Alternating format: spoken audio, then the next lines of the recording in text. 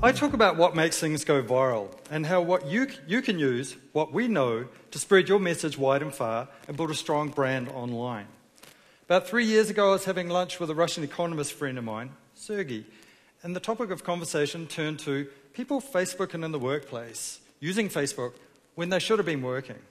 And I asked Sergey, I said, Sergey, you're a bright guy. How much money is lost each year from people using Facebook at work when they should have been working? He thought about it for a while. He looked at me and said, Not possible. Too many variables. I ended up surveying about 400 people across Australia. The results found those who were using Facebook in the workplace were up to 20% more productive than those who weren't or couldn't. People need what we call mini breaks to restore their concentration. This is where it gets interesting. A couple of days later, after I discovered this finding, I was walking to the lunchroom. I ran into David Scott, and David Scott is the media officer at the University of Melbourne. He said, Brent, what have you got for me? You got any new research? I said, Guess what, Dave? Yes, just discovered that Facebook and network is good for productivity. Turns out, David had lunch with a friend of his later on who's a journalist for a local newspaper.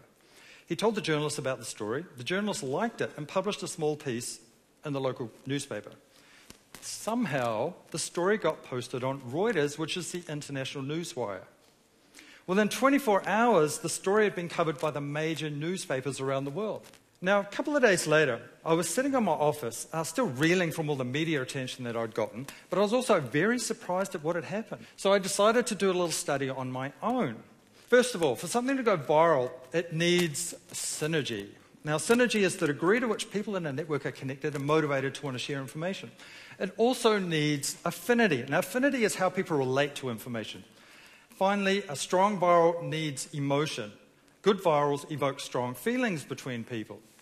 There is a formula that you can use to spread your message and you'll make your brand viral online. If you get it right, your customers will love you for it.